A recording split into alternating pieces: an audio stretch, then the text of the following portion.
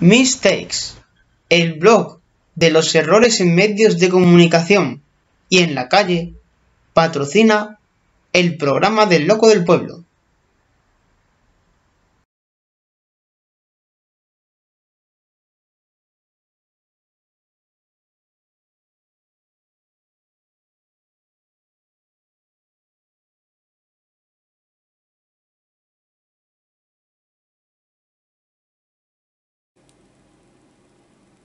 Esta semana, como no podía ser de otra manera, tiene que venirnos a la cabeza aquel refrán de tener más moral que el alcoyano.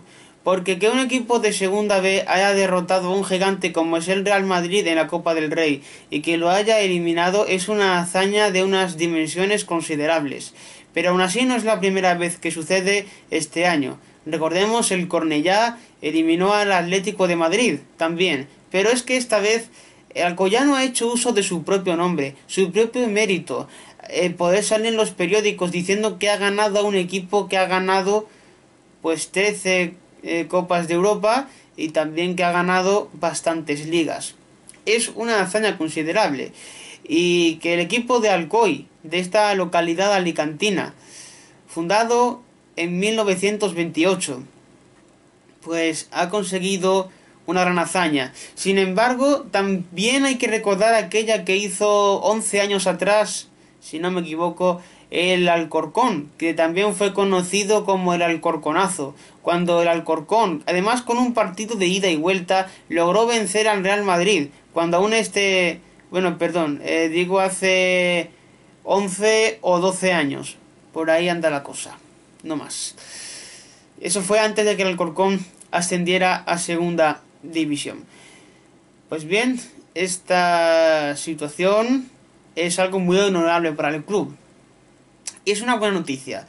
Pero una mala noticia, y esto ya es evidente, es que el coronavirus sigue adelante. El coronavirus sigue defenestrando eh, familias, a personas, por la agresividad con la que ataca, y más aún con esta cepa británica. Pero Además, también tendríamos que pararnos a pensar una cosa. Dejémonos de series de coronavirus. Si queremos comprender la realidad de la situación del coronavirus y lo de las personas que lo pasan, dejémonos de series y de películas.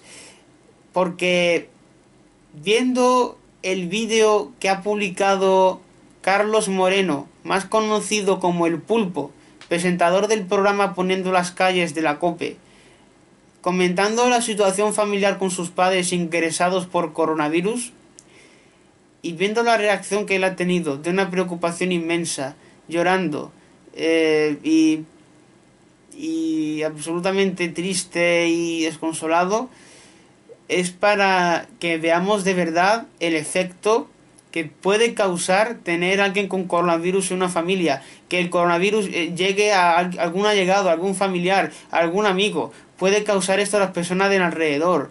Por lo tanto, esto es una realidad.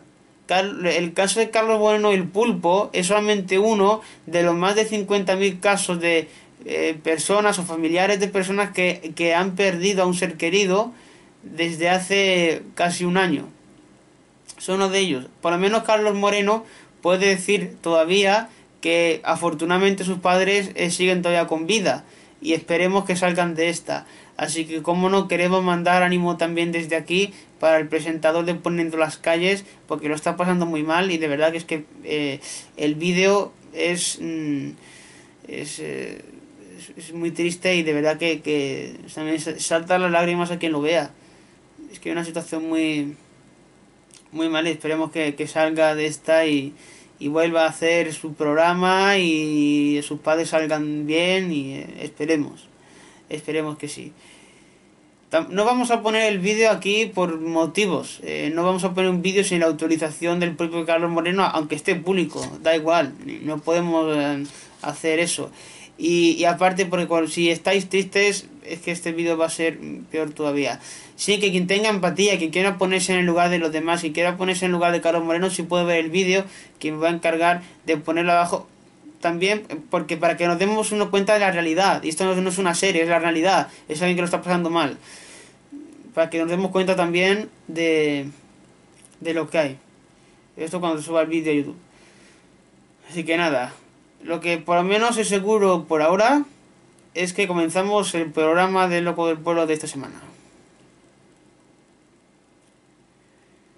Hola a todos, bienvenidos al programa de Loco del Pueblo de esta semana. Hoy es 23 de enero de 2021 y es sábado, un sábado que nos hemos encontrado con una sorpresa y que es importante denunciar y decirlo porque es que no puede ser. Ni, eh, por lo menos en una búsqueda es que ni un medio, no sé si es que o no hemos buscado bien o es que está escondido, no lo hemos visto, pero no hemos encontrado ninguna noticia que hable del cierre de parques. Eh, de, parques de infantil y de pistas de fútbol y de deporte en Andalucía. Lo digo más que nada porque, bueno, yo me dirigía a hacer uso de estas pistas con medidas de seguridad, con mascarilla, eh, porque hasta ahora estaban abiertas. Es cierto que solo se debe salir para lo imprescindible, pero bueno, que hacer ejercicio es salud, y la salud imprescindible, tenerla bien también. Pero bueno, que lo suyo por lo menos si, si se cierran las pistas, que bueno, vista la situación, la situación con el repunte de contagios que hay, es lógico y se entiende, por lo menos que se avise, para que se avise para que no las personas que la vayamos a usar no lo encontremos con que no están, que no están disponibles, que están cerradas. Por eso es mejor mmm, avisarlo. Entonces, por eso, quiero decirlo de aquí, desde aquí, no se siente Andalucía, porque me consta que en algunas pistas, por ejemplo, en Torremolinos, están abiertas, pero que en Málaga, eh, capital, vamos, me, me, consta porque me ha llegado la información de corresponsales que tenemos, que aunque pensé que no tenemos muchos corresponsales por, por eh, todo el mundo. Eh, claro, digo, yo no, pues yo vivo en Málaga y Málaga dice el perimetral, entonces no podemos salir de aquí, lógicamente, ¿no? Yo lógicamente no, no voy a ser un infractor que es Santa Norma, por eso, pero que me ha llegado información de que en Torremolinos por lo menos hay pistas abiertas, pero en Málaga eh, las que yo conozco están cerradas. Entonces, eh, hago aquí un llamamiento a que los medios de comunicación, no solo este, sino otros más, también den a conocer que las pistas están cerradas. Porque es que eh, no se ha dado, por lo menos que yo sepa, a conocer en periódicos, pero es que ahora alguien va que no lo sepa porque no lo ha visto en periódicos ni en la televisión ni nada y dice, ah, mira, es que no puedo ir porque están cerradas. Por lo menos que se avise. Bien, pues esta noticia porque la he cazado yo, pero si cazáis vosotros alguna noticia que queráis contarnos, lo que sea que sea, pues ya sabéis, estamos por allí en eh, Twitter, arroba canal Manolo, y también tenemos nuestro servidor de Discord o eh, en proceso que, eh, como decimos, de momento tenéis por ahí algo, alguna vía al menos para poder informarnos si queréis cualquier cosa. Eh, que queráis dar a conocer aquí en este programa. Que aquí también tenéis voz, como digo siempre. Es importante tenerlo en cuenta. Pero bueno, y como decimos, ya lo hemos dicho antes, pero eso es verdad. Eh, de verdad, un mensaje de ánimo a Carlos Moreno el Pulpo para que eh, transmitir los mejores deseos de que sus padres salgan de eh, esta situación y, que vuelva a poner las calles de 4 a 6 de la madrugada en la COPE con sus oyentes y que, y que logre animar a todo el que trabaja por la noche, a todo el que no le cuesta conciliar el sueño, pero como digo, lo importante es que sus padres salgan y ojalá esperemos que sí. Y ánimo y somos positivos, que todo saldrá bien. Esperemos que sí. Seguro que no nos equivocamos, saldrá bien seamos positivos. Pues eso, bueno, dicho esto, vamos a comenzar ya a contar eh, las noticias que vamos a hablar de esta semana. Eh, hay que hablar de coronavirus, casos que ha habido, porque como está la cosa desbocada, ya lo hemos dicho, no es ninguna novedad, pero es que es así. Eh, bueno, ya, ya que tenemos la posibilidad de, de vacunas, lo que hacen los que nos mandan es ponérselo ellos antes que nosotros. Bueno, eh, así otro ejemplo más que da España, ¿no? En estas cosas. Hay que hablar de... Bueno, es que, es que las noticias generalmente van de estas. Vamos, desde consejeros de sanidad, alcaldes. Es que pasa por todo el mundo. Hay que hablar de noticia porque, noticia porque la semana pasada habíamos dicho que sí, que las elecciones catalanas iban a ser al final el 30 de mayo. Pero, ¿qué ha pasado? ¿Qué ha pasado? Pues que al final parece que no van a ser el 30, parece que van a ser el 14 de febrero, el Día de los Enamorados. Sigue adelante de momento la situación. Y además, eh, José Félix Tezanos ha publicado un CIS que le da... Eh, ya el efecto Illa llamado milagrosamente logra sacar eh, ¿cuántos? 30 y entre 30 y 35 escaños en Cataluña y ganar. Bueno, ya hablaremos después de encuestas manipuladas y de encuestas propagandísticas que encima ni siquiera benefician al que la encarga. ¿Qué ha pasado? Ha pasado en Andalucía. Hablaremos de eso. Hay que hablar en este caso de una noticia más bien curiosa, que el presidente del gobierno, Pedro Sánchez, no sabe, no sabe, según el periódico ABC, si invitó a eh, a, su, a su residencia de verano privada en Lanzarote a amigos. No lo sabe. Si no sabe, ¿quién lo va a saber? Pero bueno, tenemos que hablar también de Italia. Hay crisis de gobierno, aunque también les han intentado poner fin a ese hecho. Y ahora hay que hablar importante, Granada, Granada, porque ha habido un terremoto y esta vez no ha sido un terremoto pequeño que no se nota, no, se nota, de hecho ha pillado a youtubers en directo, ha pillado a clase, gente que estaba dando clase en directo, y esto pues así, tiene que haber sido, me dicen que ha sido en mediodía de hoy mismo, pero eh, eh, bueno, lo que es ver ha tenido epicentro en Santa Fe y mi primo es que vive en Granada, le ha pillado. Eh, está bien, menos mal, me alegro mucho. ya me pondré en contacto porque, bueno, un terremoto, teniendo allí seres queridos, pues es importante tener mantener contacto. Bueno, tenemos que hablar de que aumenta la violencia por altercados protagonizados entre inmigrantes alojados en hoteles en Maspalomas en, eh, en la isla de Gran Canaria. Hay que hablar lógicamente de la investidura de Joe Biden y del resultado de la Copa del Rey y de que Zidane tiene positivo un coronavirus. Bueno, es que hay de todo. Bien, de todas formas, ¿qué tenemos que hablar? Pues atención porque España ha sumado este viernes otros 42.885 casos de coronavirus y 400 nuevas muertes por COVID-19. La incidencia acumulada ha sido descontrolada, 828 casos por 100.000 habitantes en los últimos 14 días. Vamos a ver que no son números bajos. Eso, por favor, es que... Eh, mm, mm, bueno, es eh, demasiado. Eh, Andalucía eh, ya encadena 23 días de subida en el número de hospitalizados con COVID-19, marcando su, su máximo de la pandemia y Galicia triplica la incidencia del coronavirus en el último mes. Es preocupante. bueno, es que Castilla y León ha superado por primera vez los 3.000 nuevos contagios. Eh, Extremadura ha registrado 22 muertes, dice la segunda mayor cifra de la pandemia. En Madrid, 6.130 contagios nuevos y 60 fallecidos. Eh, eh, es que, atención, sí, vamos, Portugal supera, Portugal que además están confinados domiciliariamente, supera las 10.000 muertes en pandemia con nuevos récords en 24 horas. Eh, Murcia suspende toda la actividad asistencial no urgente, incluida la quirúrgica, y descienden los casos en Navarra algo mejor, con 262 contagios y nuevo fallecimiento. Eh, eh, vamos a ver qué más. La comunidad valenciana, 54 nuevas muertes y 6.122 nuevos contagiados. la región de Murcia, 130 perdón, 1.339 contagios en las últimas 24 horas y 18 fallecidos. Eh, Asturias ha confirmado 511 casos.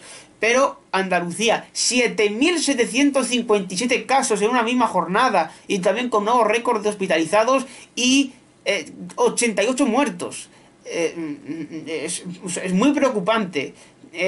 tendrían que hacerse mirar el País Vasco, mil 140 nuevos positivos y rebaja la positividad al 8,4%. Eh, mm, es, de verdad, es preocupante los eh, números. 1.888 casos nuevos en Galicia que triplican un mes el impacto del COVID o de la COVID. Eh, Cantabria ha sumado 195 casos de coronavirus. Mm, bueno, eh, ya hemos visto.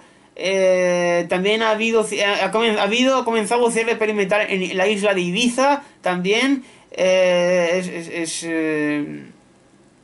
es muy muy preocupante, de verdad, es muy preocupante esta mm, situación. Y lo que, que, peor es que habiendo una solución, ¿vale? Que es una vacuna que se ha dado de Pfizer o de Moderna, de varias empresas las que están haciendo vacunas, es que se la ponen los políticos antes que el ciudadano de a pie. Y esto es una cosa que debería tener consecuencias. En algunos casos la ha tenido y en otras no. Vamos a ver. Cuatro alcaldes se vacunan al, sobrar dosis, entre comillas, son las excusas prácticamente que han puesto todos. Es que sobraban dosis en sus pueblos. Tres socialistas y uno de Juntos por Cataluña se han saltado a la cadena de grupos prioritarios. vamos, estamos diciendo los partidos, pero es que ya da igual. Da igual, si es que son de todos los partidos realmente. También del PP ha habido eh, que se han vacunado. En este caso de los pequeños pueblos alicantinos de El Berguer, Chimocol, Els Poblet, serán los pueblos, ¿no? que vamos a decir en español. Eh, el de Rafael Buñol en Valencia y el regidor de Juntos por Cataluña en Riudoms, en Tarragona, han recibido la vacuna saltándose la cadena que prioriza ancianos y sanitarios. Todos han reconocido y han recibido numerosas críticas de la oposición y de la opinión pública. Eh, los, dos primeros, que el de Col y el de Vives. Eh, ah, vale, vale, sí.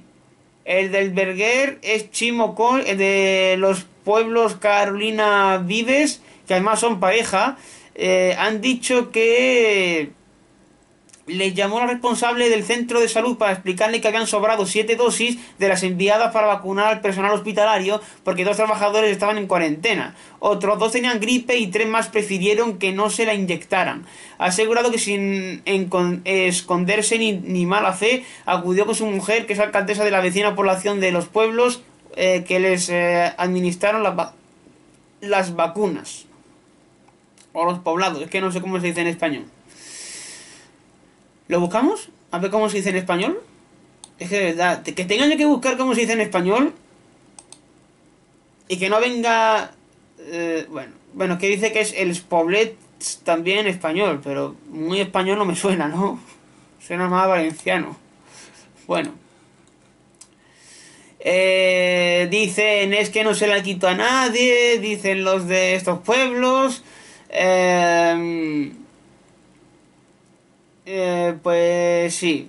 Dice el de el de Riudoms, Sergi Pedret, de Juntos por Cataluña, a día dice que recibió la, llamada de un encargado de la vacunación explicándole, según él, unas dosis que se iban a tirar ya que por diferentes circunstancias algunas vacunas no se pudieron suministrar. Entonces el equipo para aprovecharla le pidió recibir la vacuna y siguió las indicaciones de los responsables de la vacunación confiando en su criterio y en los protocolos establecidos. No era él asegura quien debía considerar si se vacunaba o no.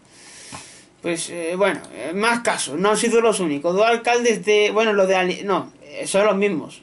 Perdón, son los mismos. Los de Alicante son los mismos. Ya está. Eh, un matrimonio... Eh, ah, perdón, son los mismos. Son la misma noticia siempre.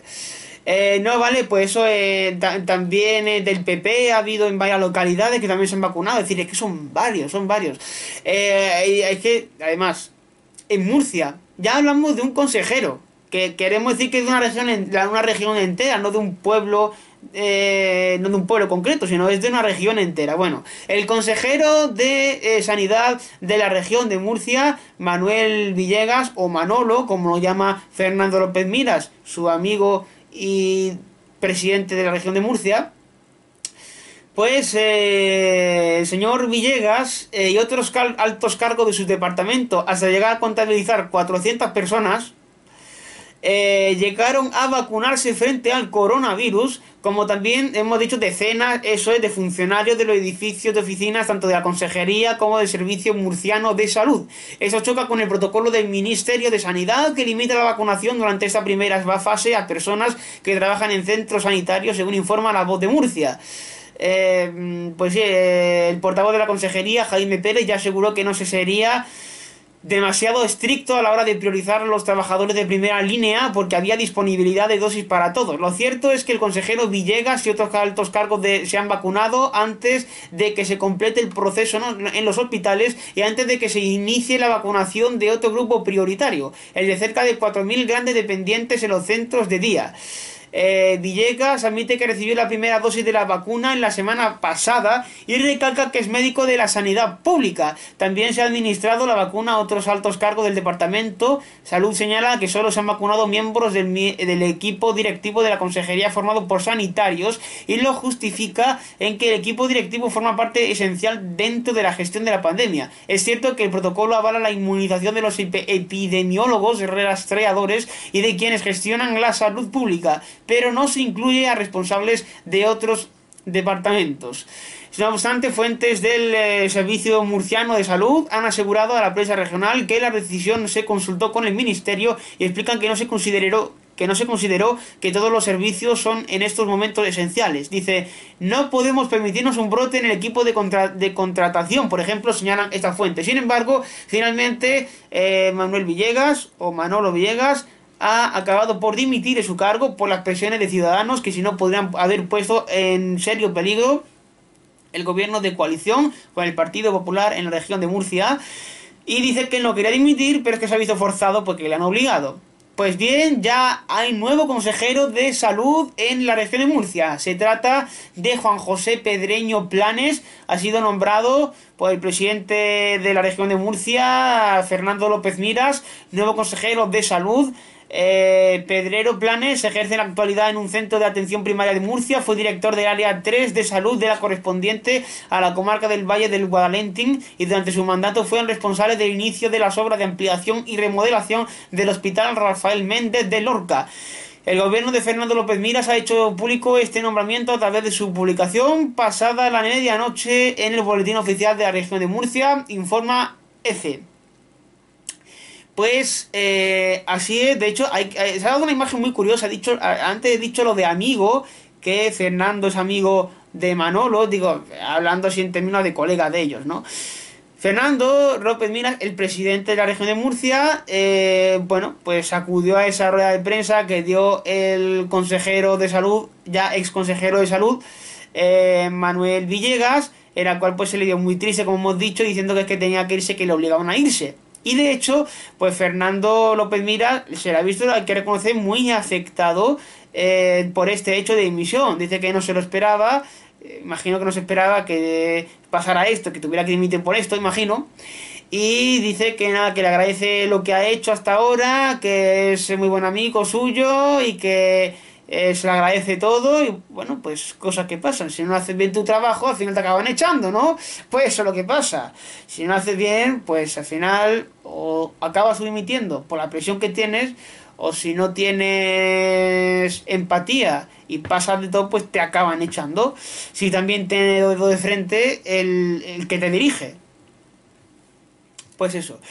Eh, pero bueno, eh, tampoco vamos a acusar así porque sí mmm, le ha preguntado al ministerio y demás, pero bueno, es cierto que tampoco se puede defender que se estén vacunando los políticos antes que los, que los ciudadanos, pero bueno, también hay, que entender, si se contagian eh, consejeros de salud y los, que trabajan en la consejería de salud de la región de Murcia, hombre, si, si la sanidad está contagiada, pues también un peligro. Pero bueno, al fin y al cabo, políticos frente a ciudadanos, los ciudadanos son más importantes. Eh, porque son a los que dirigen los, que los políticos dirigen a los ciudadanos. Pues eso. Hablando de política. 14 de febrero. Elecciones en Cataluña. Pues parece que sí. Que ya no van a ser el 30. No. de mayo. No, no, no.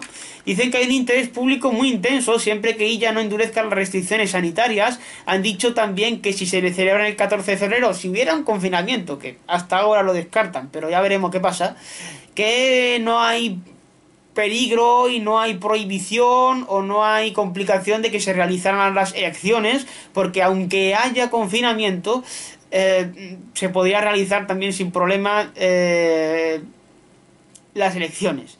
También estableciendo una hora para que fueran a votar los contagiados o los que han pasado la enfermedad, pero bueno, solamente eso, no había más, más eh, complicación.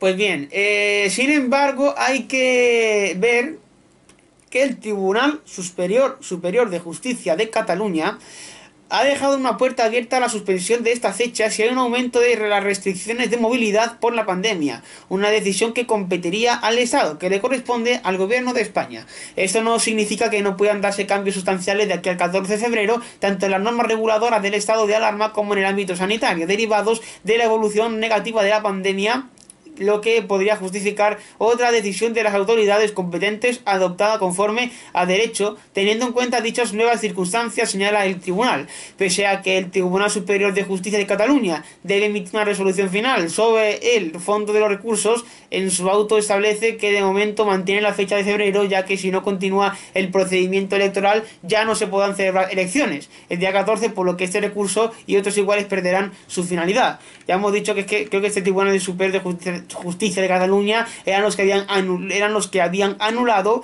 que fuera finalmente el 30 de mayo las elecciones en Cataluña. Pero bueno, si hablamos de elecciones, ¿cómo está la situación? ¿Cómo está la situación? Bueno, pues según José Félix Tezanos, según el gobierno de España, deberíamos decir según el CIS, porque el CIS lo controlan ellos. Y últimamente el punto de mira lo tienen muy, muy desviado. Pero es una cosa objetiva. Vamos a ver cosa objetiva, datos. Elecciones al Parlamento de Andalucía 2018. Vox obtendrá uno o dos diputados. No, obtuvo los dos números juntos, 12. Eh, en las elecciones de abril, el PP se desploma. Y el PSOE ganó un montón. Pues al final que perdió un poquito fue el PSOE y el que ganó un poquito fue el PP. Quiero decir, esto es objetivo claramente. Es que esto se ha visto, los resultados están ahí. Pero bueno, eh, ahora, eh, otras encuestas, no sé, no voy a ser yo el que diga si son más fiables o no, decían que ganaba Esquerra Republicana, que no había efecto Villa. Efecto Villa es lo que se considera que por haber puesto candidato al ministro de Sanidad, pues van a ganar las elecciones. Entonces, según el PSOE, sí ganan. Ganarían con el 23,9% de los votos, se obtendrían entre 30 y 35 diputados. Esquerra Republicana serían segundos con el 20,6% y, el 30, y el entre el 31 y 33 diputados. Juntos por Cataluña obtendrían entre 20 y 27 y el 12,5% de los votos. En Común Podemos obtendría el 9,7% y entre 9 y 12 diputados. Ciudadanos se daría un descalabro absoluto porque eh, de los 36 diputados que tiene actualmente pasaría a, entre 13 o 15 y obtendría el 9,6% de los eh, votos. Vox entraría con entre 6 y 10 diputados, 6,6% de los votos. La CUP obtendría el 6,0% de los votos, entre 8 y 11 eh, diputados.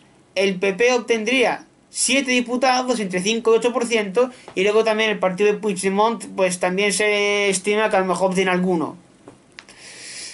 Esto es lo que dice el CIS, pero otras encuestas que yo he visto dicen que nada que republicana. Pero bueno, ya veremos quién tiene, quién tiene la razón, porque igual al final gana el PSOE, que puede ser, todo posible. E incluso como poder puede ganar el PD, pero en Cataluña no, no es muy difícil que pase eso. Eh, digo, como poder puede pasar, incluso el que el Partido Liberal, bueno, como el Partido Libertario, no sé, que ni aparece la encuesta, incluso, que como poder puede usar todo. Luego hay un porcentaje de realidad que establece, por ejemplo, que partidos que no van a ganar pueden no tener representación, pero no van a ganar. Como ciudadanos. Ganó la anterior ocasión, pero esta vez es muy difícil que eso pase. Pero bueno, eh, lo que tenemos que decir sobre encuestas que benefician es que al parecer en, Andalucía se había hecho una encuesta que decía que ganaba el PP y hasta ahora todas las encuestas que se han hecho en Andalucía últimamente dicen que, dicen que ganaría el PP las elecciones. Pero ¿qué ha pasado?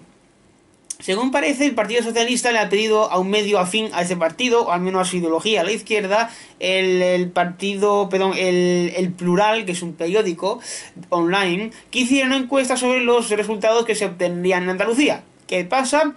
El PSOE obtendría 40 diputados y ganaría las elecciones en Andalucía. Hasta ahí bien, ganas. Pero lo importante es la gobernación. Y el caso es que aunque gana el PSOE, PP, Ciudadanos y Vox, no precisamente en este orden de votos, seguirían sumando para establecer un gobierno de centro-derecha en Andalucía. Seguiría gobernando el PP, porque suman esas tres fuerzas. Entonces, ¿qué pasa? El PSOE parece que encargó esta encuesta, por lo menos esto quien lo dijo. Quiero que lo fue Javier Caraballo, en el programa de Análisis, el que dio esa, esa conclusión. Es decir, tú, tú encargas una encuesta, eh, tú encargas una encuesta y y tú ni siquiera ganas en la encuesta. Una encuesta propagandística para resarcirte, ni siquiera ganas ahí. Es una encuesta que, que haces tú, o más o menos haces tú, encargas a tu medida. Pues bien, ganas, pero no gobiernas, que es lo que verdaderamente interesa. Pues bien, esto ha pasado, desde luego. Bien, vamos a irnos ahora a hablar en este caso del presidente del gobierno porque parece que no sabe si invitó a sus amigos a veranear en los palacios del Estado. Presidencia dice a Transparencia que no le consta y que no exige, existen registros. El, eh, también resulta que Sánchez dice que es una información de indudable interés. Eh, bueno, pero el CTBG, que no sé lo que es, dice que es una información, le dice a Sánchez que es una eh, información de indudable interés. Pedro Sánchez ha dado un paso más en su desprecio de la rendición de cuentas y la ley de transparencia. Esto escribe Javier Chicote en el periódico ABC. habituado a incumplir sistemáticamente las resoluciones firmes del Consejo de Transparencia y Buen Gobierno, CTBG, ahora ha decidido dar una respuesta surrealista. Después del que el periódico ABC desvelara el pasado octubre cómo llevaba a su grupo de amigos de veraneo a los palacios de Estado, el Consejo de Transparencia y Buen Gobierno, que ya había eh, dado la razón a este diario, le requirió dos veces más la información sobre el número de acompañantes privados y el periodo durante el que disfrutaron del Palacio de Marismillas en Doñana en lo largo, a lo largo del verano de 2019. Pues bien, tenemos un presidente del gobierno que no sabe algo, o más bien no lo sabe porque no consta registros. Claro, a lo mejor lo llevó a los amigos, pero es que no consta registros. Es que vinieron, pero yo no lo apunté para no quedar mal. Entonces, no podemos decir ni que hayan ido ni que no hayan ido que no consta registros, según el gobierno. Entonces no consta registro. Otra cosa que hayan ido o no. Ya veremos si se soluciona o no. A ver, lo que parece que sí que tiene más solución es el gobierno de Italia. El gobierno de Italia hasta estos días ha tenido una crisis de gobierno, que de hecho vamos a, vamos a ver cómo lo explica el, la agencia EFE, que parece explicarlo bien. Los parlamentos del partido Italia Viva pidieron hoy, día 22 de enero, es decir, ayer, una eh, solución política que permitía acabar con la legislatura en 2023, después de que su líder, Matteo Renzi, haya abandonado la coalición de gobierno y provocara una crisis política.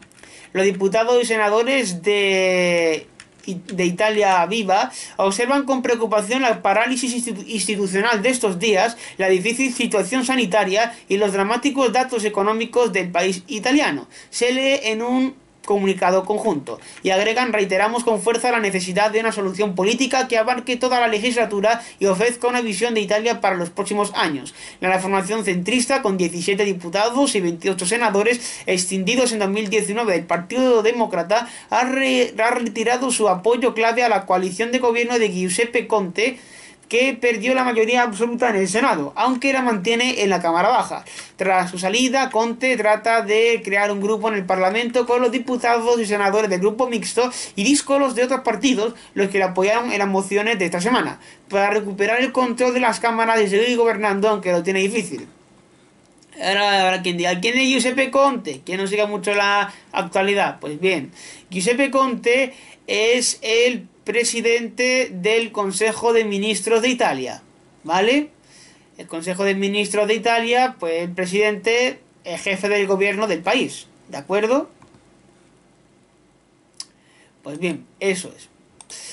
Eh, tras su salida, con, eh, vale, pues lo que hemos dicho. El comunicado de Italia Viva se ha interpretado como una apertura del rencismo de Matteo Renzi al diálogo y a volver a apoyar al gobierno de Conte, lo que evitaría una nueva crisis e incluso un adelanto electoral. En los últimos días, Renzi ha tendido, ha tendido la mano al gobierno, aunque Conte ha dejado claro que el Parlamento, que es hora de pasar página, dejando entrever que no pretendía volver a fiarse.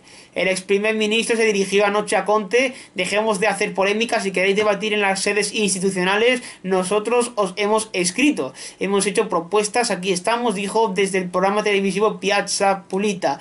En los últimos días algunos exponentes de su partido venían avanzando su intención de apoyar al gobierno por su cuenta por una cuestión de, de responsabilidad, por ello hoy los diputados y senadores pidieron de forma conjunta un diálogo sin veto ni prejuicios. Los analistas coinciden en señalar que una vuelta de Renzi eh, de Renzi a la coalición sería la opción que garantizaría Conte su permanencia en el gobierno, algo especialmente importante en estos momentos de la pandemia y la consecuente crisis económica. En cualquier caso, Conte no tiene demasiado tiempo para apuntar a su coalición con una mayoría estable, tal y como le ha solicitado el jefe del Estado, Sergio Mattarella, preocupado por esta situación de inestabilidad e incertidumbre política. La semana próxima el gobierno encargará una cita clave. El ministro de Justicia, Alfonso Bonacede, ilustrará en el Senado un informe sobre su gestión en el ámbito judicial de 2020. Después se votará. La primera votación tendrá lugar el martes en la Cámara de los Diputados, donde el gobierno cuenta con mayoría absoluta, mientras que el miércoles será en el Senado, donde contrario a Bonacede de la oposición de derechas y Renzi dejaría al gobierno en Y eso podría abrir una nueva crisis y evidenciar la debilidad de los respaldos de Conte.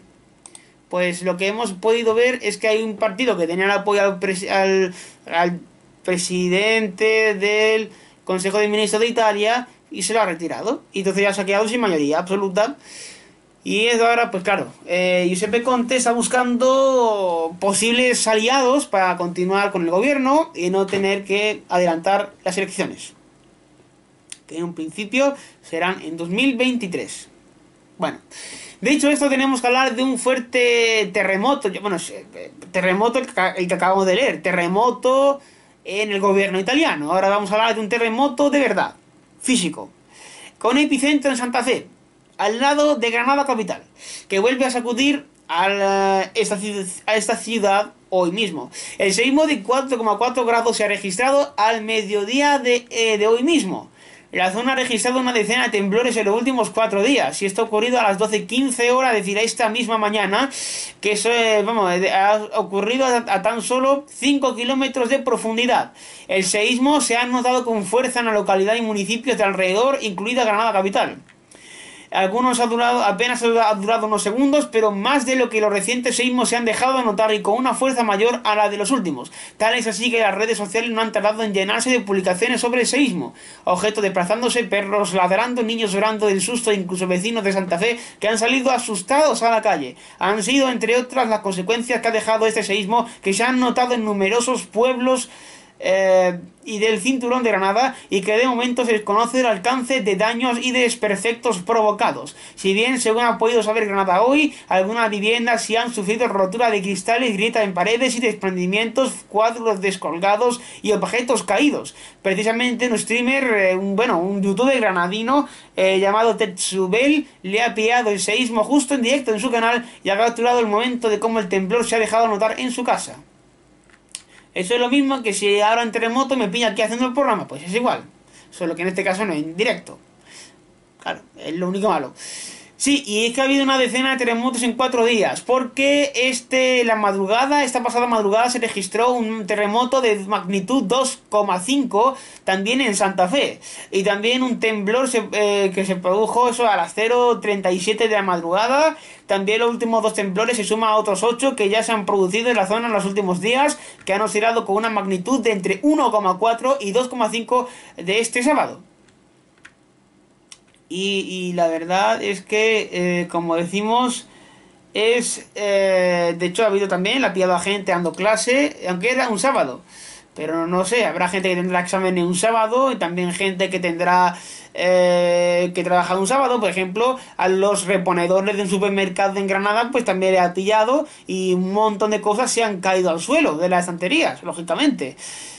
Y, la verdad, bueno, esperemos que Granada se recupere de este seísmo, de, ese terremoto cuanto antes y por lo menos me alegra saber que mi primo está bien. Eh, ya, ya comunicaré a ver si que me cuenta que está bien. Está bien lo importante. Pues bien, eh, lo que no están bien son los vecinos de Maspalomas, y no solo de Maspalomas, de Mogán y de San Bartolomé de Tirajana, por los altos altercados, altercados eh, provocados por la violencia de los inmigrantes alojados en hoteles de esta zona. Eh, pues eh, dice, pero es que además que dicen que los altercados no solo han sido entre ellos, sino también contra los cuerpos y fuerzas de seguridad del Estado, informó el periódico Tiempo de Canarias. Los dos últimos episodios ocurridos con lanzamiento de piedras y así como con la intervención de cuchillos de grandes dimensiones y la elaboración casera han hecho y elaboración casera han hecho saltar todas las alarmas. Así Mogán comienza a convertirse en una bomba de relojería. ¿Cuál es la situación real que vive el municipio? Eh, pues dice que hay una gran sensación de inseguridad en las calles de Mogán. Eh, los continuos altergados protagonizados por estos ciudadanos que llegaron hasta la isla en patera en la oleada de 2020 generan conflictos y ya no solo entre ellos sino también hemos dicho con agentes policiales uno de ellos ocurrió este martes y otro la pasada noche vieja y otro este mismo lunes 11 de enero dice que lo protagonizan adultos pero también menores no acompañados los conocidos como MENA eh, los conocidos, eh, eso, pese a las continuas demandas por parte del Ayuntamiento de Mogán para que estos inmigrantes fuesen trasladados a campamentos e instalaciones dependientes del Gobierno de España, la realidad es que el Ejecutivo Regional, como respuesta rápida para tratar de, desalojar el masificado muelle de Arguineguín, llegó a adquirir el no deseado título de muelle de la vergüenza, los derivó a complejos turísticos de los que meses después aún no han salido. Y dicen que José, José Cobo, de la Asociación Española de la Guardia Civil, señala que el problema con los inmigrantes se produce porque tienen una total libertad de circulación y no entienden que hay una hora en la que tienen que estar en los hoteles donde se hospedan. En relación a los conflictos surgidos con la propia Benemérita, Cobo afirma que hacen lo que les da la gana y añade algunos tienen sus vicios que tratan de conseguir mediante coacciones, hurtos, intimidación o robo con violencia. Destaca además que el 95% de, de estos incidentes están producidos por inmigrantes magrebíes y que los conflictos son casi a diario por peleas o incluso acoso a chicas. Eh, dice, todo ello está provocando un rechazo en la población local, pues están acostumbrados a los turistas, incluso a inmigrantes que ya son residentes en la zona. Eh, también la, eh, la, Consejería de Derechos Sociales del Gobierno de Canarias, es decir, de Noemí Santana, dice que no existe comunicación con nosotros, es inexistente. Eh, dice que no, reconoce que no hay problemas entre los vecinos del municipio, aunque apunta que sí existe falta de seguridad en la calle y la sensación de un aumento de incidencias a través de las llamadas. Pues esta es la situación que también esperemos que se solucione cuanto antes. Desde luego. Tenemos que hablar ahora de la investidura de Joe Biden. Bueno, rápidamente. Únicamente es que no ha habido, en vez de toda la multitud de gente que se leía la investidura de un presidente, en este caso han sido sustituidas por alrededor de 250.000 banderas de Estados Unidos, representando a todos y cada uno de los estadounidenses que han muerto por el coronavirus. También ha habido actos protagonizados por grandes cantantes eh, de Estados Unidos, estrellas de Hollywood, que como siempre están del lado, o como siempre, o como habitualmente, habitualmente están del lado demócrata, partido del que es Biden. Y eh, también, pues como era de esperar, Donald Trump no acudió a la a la toma de posesión de Joe Biden, al contrario estuvo en su club de golf allí, eh, tan tranquilo, en Florida, mientras que está produciendo un hecho importante. Ah, de hecho, hacía más de un siglo y medio, aproximadamente un siglo y medio, que un, al presidente no asistía a la toma de antes de a la toma de posesión de su sucesor. Pero bueno, el que sí estuvo fue Mike Pence, el eh, vicepresidente de Estados Unidos. Sí, eh, bueno, ya ex, vicepresidente, que también ya tomó juramento Kamala Harris, eh, la número 2, vicepresidenta del gobierno de Estados, Unidos. primera, dice que primera de origen asiático, que también primera vicepresidenta, mujer. Y los que asistieron también, también fueron los expresidentes de Estados, de Estados Unidos, Barack Obama, eh, George Bush, hijo, porque su padre, recordemos, falleció hace dos años, un poco más de dos años. Y también asistió Bill Clinton, el que no asistió de los presidentes vivos, el único que no asistió de los presidentes vivos fue Jimmy Carter, porque tiene ya 97 años y claro, ya no está para tantos trotes. Entonces, pues ha decidido, ha mandado un mensaje de felicitación, pero no ha asistido, no ha asistido presencialmente a la toma de posesión de Joe Biden. Cantó el himno de Estados Unidos, eh, ¿quién fue? Lady Gaga. Eh, también Jennifer López también estuvo allí. Eh, sí, Lady Gaga cantó el, himno estadounidense. Eh, eh,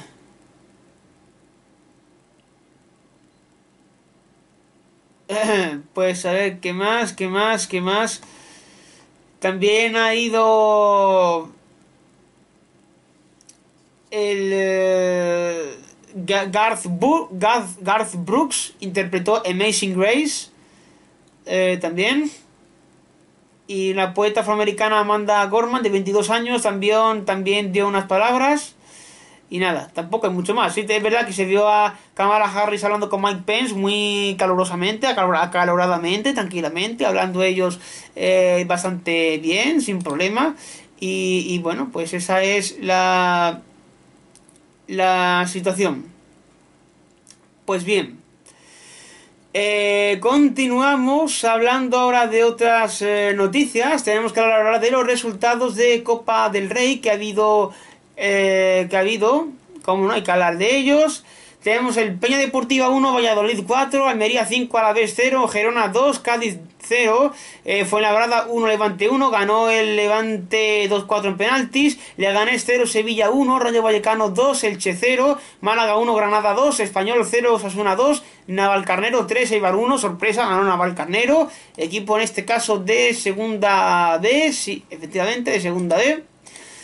El Sporting de Gijón 0, Betis 2, Alcorcón 0, Valencia 2, Tenerife 0, Villarreal 1, Córdoba 0, Real Sociedad 2, Alcoyano 2, Real Madrid 1, sorpresa por lo que hemos dicho al principio, Ibiza 1, Athletic Club 2 y Cornellá 0, Barcelona 2. Los octavos de final que se van a jugar esta semana, tenemos el martes 26, tenemos a las 19 horas el Valladolid Levante y a las 21 horas tenemos el Gerona Villarreal y el Betis Real Sociedad. El miércoles tenemos el, Valencia, el Sevilla-Valencia a las 19 horas y el Almería Osasuna a las 21 y a la misma hora el Rayo, Vaticano Barcelona. Y luego, jueves 28 tenemos en Avalcanero Granada a las 19 horas y el Alcoyano Atlético de Bilbao a las 21 horas el día 28. Eh, pues sí, esos son los próximos partidos. Hay que hablar también de que Zinedine Zidane ha sido ha dado positivo en coronavirus, por lo tanto, el ayudante, el francés, su ayudante francés David Betoni dirigirá al Real Madrid ante el Alavés en Mendizorroza este próximo sábado. Eh, bueno, hoy mismo, ¿no? De hecho, el partido creo que ya ha terminado incluso, o se está jugando ahora mismo. Pues dicen que el Mister está bien, no estará físicamente, pero estará con nosotros durante el partido. Ha explicado Betoni en rueda de prensa. El francés ha, le ha dado la explicación de que habrá una organización interna para que Zidane pueda estar en contacto con el cuerpo técnico y con los futbolistas de la plantilla durante la previa y el encuentro. Estoy aquí para ayudar al Mister, pero es él quien toma las decisiones. Y, pues efectivamente esto es lo que ha ocurrido. La, la, pregunta es cómo se ha contagiado. Eso no, no lo han dicho. No han dicho cómo se ha contagiado Zidane. Pero bueno. Pero bueno, a ver si lo aclaran. Bien, en la ya vamos a ver qué tal si pasamos a, las recomendaciones de esta semana. Tenemos que hablar de la canción de la semana. Va a ser la segunda vez que recomendemos una, una canción, en este caso de David Bowie. ¿Por qué? Porque se han cumplido 5 años de su muerte. Es un aniversario redondo y queremos conmemorarlo con una de todas sus canciones más conocidas, Absolute Beginners, del año 1986 que se grabó en junio de 1985 en Londres, en los estudios de Abbey Road. Eh, hay que decir que... Eh, Em, hay que decir que estas eh, esta canción casi también conocida por haber eh, aparecido eh, hace tres años en un anuncio de Vodafone. Fue muy, se hizo muy conocida así también la canción. Hay que decir que esta, esta canción es el, fue el tema principal de la película de 1987 del mismo nombre, una adaptación del libro Absolute Beginners. Es una película que también se llama Absolute Beginners, pues el tema principal de esa película. Y dice que em, esta película tenemos que decir que eh, All Music, All Music ¿qué es? ¿Qué es? Diréis. Pues All Music es eh, una base de datos de música en línea de Estados Unidos que la ha catalogado como eh, la joya de su producción bueno, eh, como la joya de su producción posterior a Let's Dance de los 80, una balada grande impresionante que permite disfrutar del canto de Sinatra que ha impulsado muchas de sus mejores actuaciones. También fue elegida por Jeremy Allen en el periódico The Guardian como una de las 10 de las mejores canciones de Bowie. El eh, biógrafo Paul Trinca describió la canción como una última gran composición de Bowie en la década de los 80, mientras que el crítico de rock Chris O'Leary la describió como una hermosa y de despedida con una de las grandes melodías de Bowie en su estribillo. Em, pues sí, como decimos, eh, esta es un poco la historia de la canción Absolute Beginners. El vídeo musical eh, dice que se hizo eco del estilo de la película de los años 50. El vídeo era un homenaje a un antiguo anuncio británico de cigarrillos Strand. El lema publicitario desafortunado eh, dice nunca estarás solo con una hebra. Eh, es citado por, partner, por, por compañeros, por, por anunciantes, por colaboradores en la película. El vídeo también usa imágenes de la propia película. Y en el 2016 Entertainment Weekly que, que esto es, ¿qué es? ¿Qué es? Es una revista de entretenimiento mensual de Estados Unidos, eh, es que se edita en Nueva York. Eh, lo eligió como uno de los mejores 20 vídeos musicales de Bowie. Afirmaron que el vídeo hace un trabajo mucho mejor al expresar el romanticismo no irish de la novela de Magnus de la película y también elogiaron la gran escena de peleas de baile al final. Por lo tanto, como vemos, es una canción importante, sabemos de Bowie. Eh, con la película de la semana nos vamos a ir hasta la película la encontré en Hope Springs, una película de 2003 del año que dura, eso dura 92 minutos, dirigida por Mark Herman y protagonizada por Colin Firth, Heather Graham y Minnie Driver, entre otros es eh, de comedia y romance. La película va de que Colin Ware, interpretado por Colin Firth, es un apocado artista británico que descubre que Vera, su amor de toda la vida, interpretado por Minnie Driver, va a contraer matrimonio con otro hombre. Entonces, con el corazón destrozado, viaja a América y termina en un pequeño pueblo llamado Hope en el estado de Vermont. Hope, que significa esperanza en, en inglés, que precisamente eligió Hope Springs eh, es un pueblo de Hope que se llama Esperanza porque él estaba muy destrozado y muy delicado y, quería un poco de esperanza irse a ese pueblo pues para cambiar un poco mejor, poner mejor su vida. Entonces allí la dueña del hotel, que donde se hospeda, interpretado por Mary Steenborgen, decide emparejarle con una joven del pueblo llamada Mandy, interpretado por Heather Graham. Pero justo cuando parece que la cosa va a funcionar, aparece Vera para tratar de recuperarle, porque no le salió bien la boda con su. con, con el marido con el que se iba a casar. Pues sí, esta es la la noticia y nada, pues vámonos a irnos al lugar de la semana. ¿El lugar de la semana cuál es? Nos vamos hasta Football Field Los Álamos, que es una pista de... Bueno, claro, quizás pues es una tontería recomendar pista de fútbol cuando la están cerrando, pero bueno, apuntadla para cuando podáis o queráis ir. Fútbol Field Los Álamos en la localidad de Torremolinos en Málaga, es una pista de fútbol que tiene portería del año 60. Es así. Eh, son porterías que tienen la red quitadas, ¿vale? Las redes están podridas. De hecho, debido a la dejadez del ayuntamiento, eh, está oxidado los polletes del. del. del muro y las rejas de que, que, procuran que el balón no se saca del recinto pues tienen agujeros y es posible no muy bueno no seguro pero es posible que depende de dónde caiga el balón pues puede que se caiga incluso a la propia calle. Pero bueno, quitando esto, es una pista que es muy buena para ir a jugar al fútbol. Ya digo, he dicho que está oxidado, que tiene reja, que tiene agujeros la reja, que no tiene redes, eh, porterías muy antiguas, pero bueno, lo que es esencial, que es para jugar, funciona. Funciona para jugar al fútbol, para pasar un buen rato con amigos, o con, quien queráis, y la verdad es que es muy bueno ir allí. De hecho, tiene, por ejemplo, también eh, sí que os va a acompañar el ruido de la estación de trenes de cercanía de los Álamos, que está justo al lado.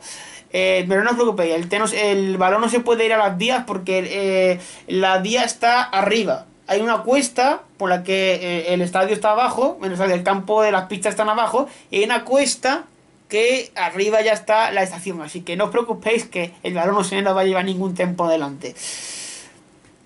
Pues sí, que digo, que puede estar un poco mal estado, pero lo que es su función esencial que jugar fútbol la cumple. Eso es lo importante.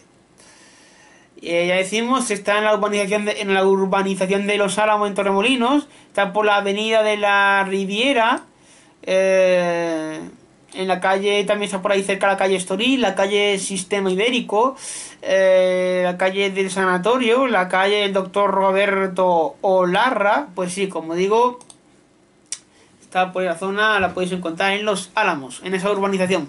Y va a terminar, que vamos con prisa, pues tenemos que tenemos que hablar del Mesón Los Robles de León, que es un restaurante que se ubica en Málaga, que dice que se, que se encuentra en la zona de Martiricos, muy cerca del estadio de fútbol La Rosaleda, y que tiene un gran, una gran calidad y servicio, un gran trato, y un producto, dicen que es sobresaliente, y que es una carta especialmente tiene su carne hecha a la brasa, como presa ibérica, filetilla de cordero, lechada, hamburguesa de wagyu, eh, que es de ternera nacional sin carretamar, solomillo de vaca, de cerdo, de wagyu, esto, el entrecot de angus, eh, entrecot de bakashashi, lomo bajo wagyu, es decir, tiene mucha especialidad en carnes, abanico ibérico a baja temperatura, rabo de toro, paletilla de cordero lechal, cochinillo segoviano, cuarto de lechazo para dos personas. También tiene pescado, bacalao al pil pil, rodaballo al cava, rodaballo a la plancha,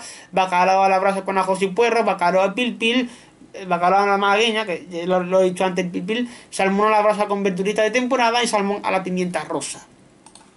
Pues bien, este ha sido por hoy el final de las recomendaciones y vamos con aquí caben todos. Es muy importante.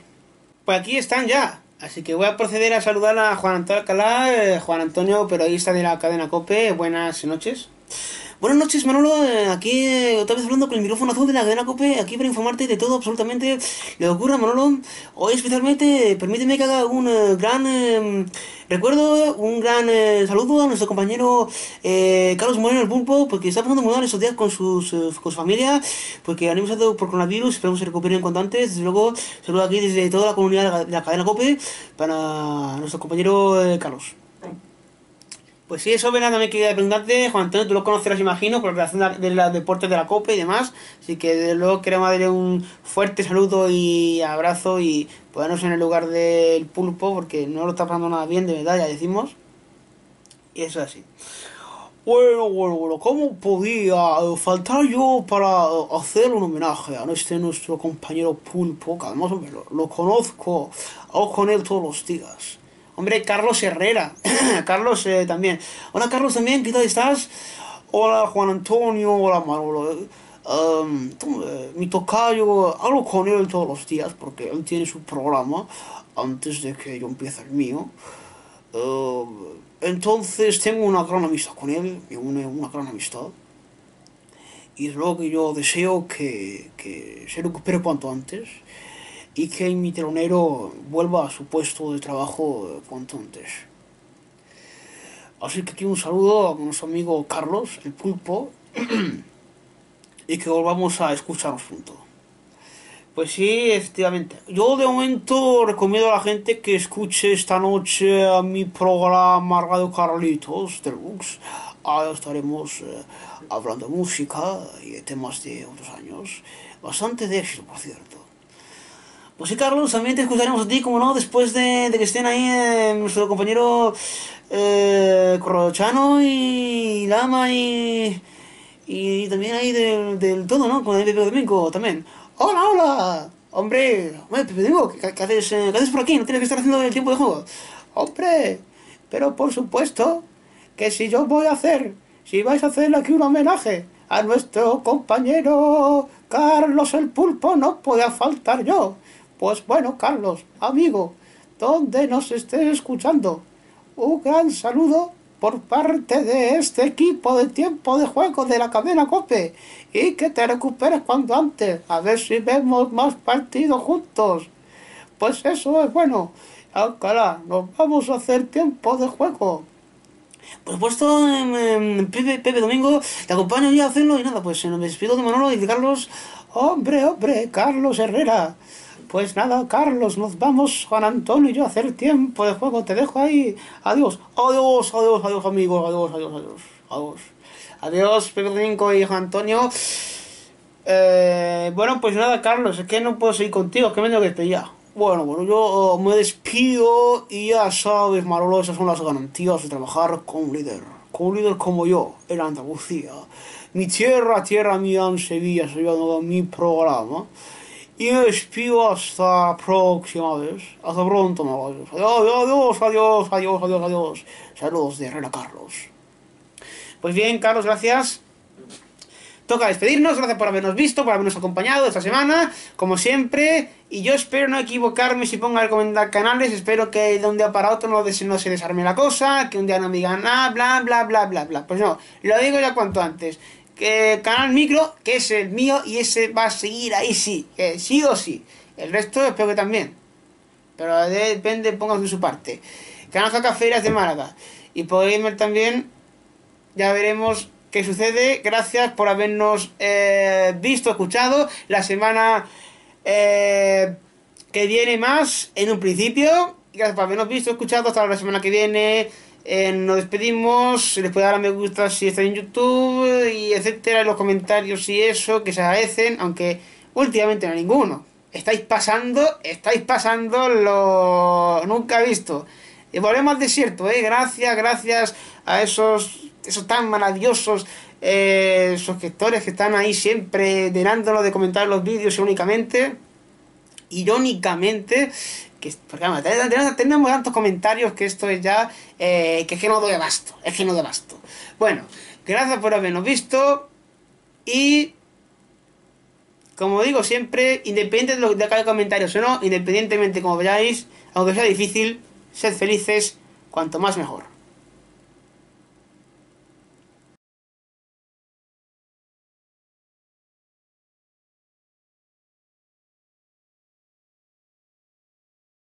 Mistakes, el blog de los errores en medios de comunicación y en la calle, ha patrocinado el programa del Loco del Pueblo.